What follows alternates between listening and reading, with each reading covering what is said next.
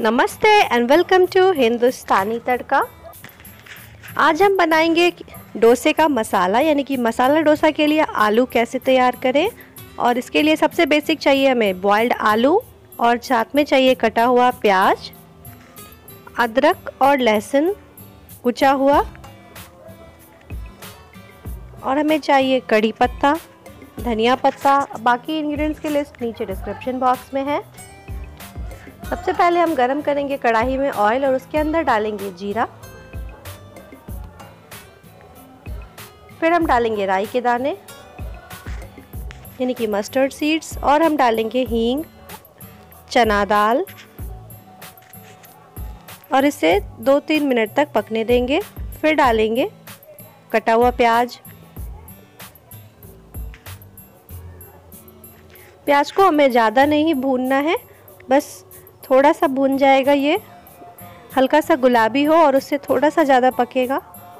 बस इतना ही भूनना है। अब हम डाल देंगे कड़ी पत्ते। कड़ी पत्ता पहले ऑयल में नहीं डाला कि वो स्प्लटर होता है। फिर डाल दिया है स्लिट किया हुआ ग्रीन चिली इसे भी सॉटे कर लीजिए। अब ऐड करेंगे जिंजर गार्लिक इसे भी 30 सेकेंड्स तक भून लेंगे।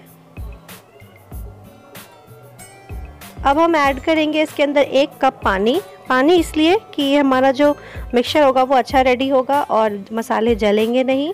साथ में इमली का पानी, आधा कप हल्दी आधा चम्मच। और हम डालेंगे आधा चम्मच लाल मिर्च पाउडर और इसे मिला लेंगे। अब हम इसके अंदर ऐड कर देंगे हमारा बॉईल करके। टुकड़ों में हाथ से तोड़ा हुआ आलू। और इसे भी अच्छी तरीके से मिक्स कर लेंगे।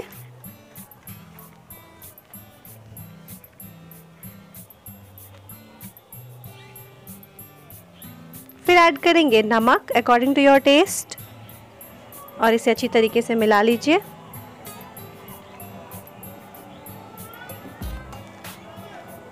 अब इस तरह से मिक्स करने के बाद इसके ऊपर आप धनिया पत्ती से इसे गार्निश कर सकते हैं।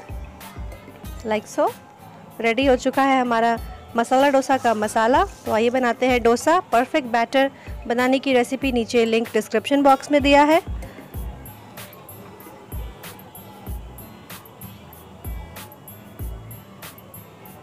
इसे हम सर्व करेंगे सांभर और चटनी के साथ।